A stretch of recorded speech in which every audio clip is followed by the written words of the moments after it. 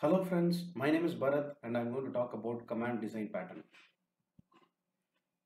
Command is a behavioral design pattern to decouple operation from the knower. There could be multiple motivation to implement this pattern. For example, the invoker need not have to know the operation being performed by receiver. In other words, any changes to how an operation is performed will not affect how it was invoked. So the user will issue the same command, but internal operation can perform differently or independently. It is like going to a bank to open an account, but the process might have changed since you visited last time. The bank changes the internal process independent to customer, but the command is same, that is open account. Now let's implement a sample code to understand it further. Let's jump right in.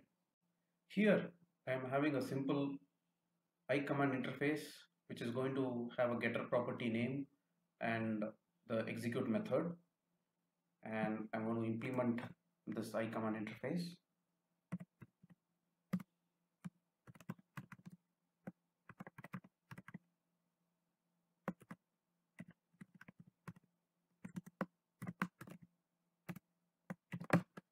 and obviously I have to implement the execute method.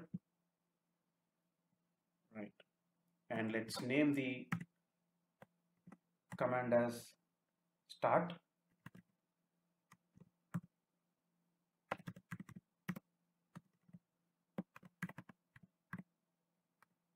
And when some some method is going to call this iCommand interface then it's going to simply console dot write line. Started typically in a real world scenario you will be making a, a, a file open method or a web API, API call or something like that. Let me copy the same uh, class and create a stop command.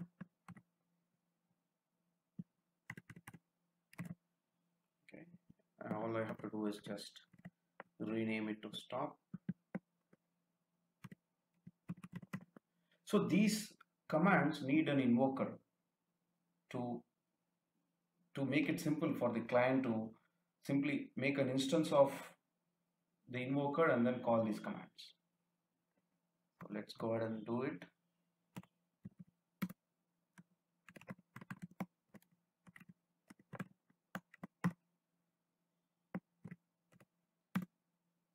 And obviously it has to have an instance of the command interface.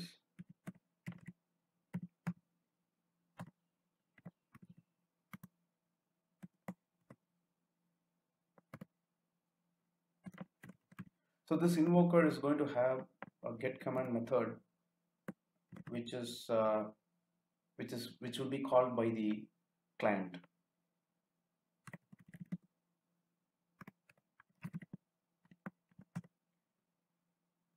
okay. It is going to be a simple switch statement.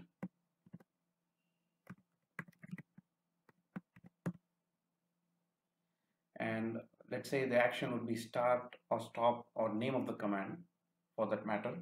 And depending on the name of the action the appropriate command object is going to be written. So in our case we have the start and stop commands if the state if the case is going to be start we are going to say command is equal to new start command. Okay pretty simple. And then we are going to break and if the case is going to be stop then we are going to invoke the stop command. Right? So I hope everything is fine with this. Return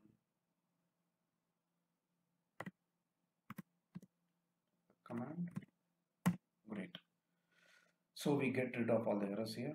Okay. Now let's go to the client and then start to invoke any of the command to see the command design pattern in action.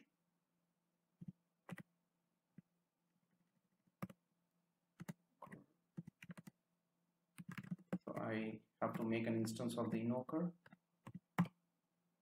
and then let's create start command by calling in the invoker.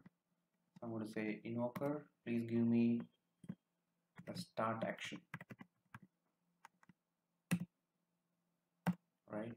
And then and say c dot c dot execute. So in this case it is going to say started right? So that because that is what we have given uh, given in the start command right? In the execute method and I can go ahead and then create another command c1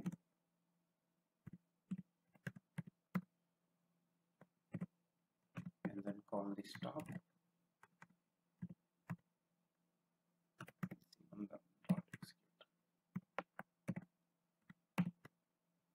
Let's run the program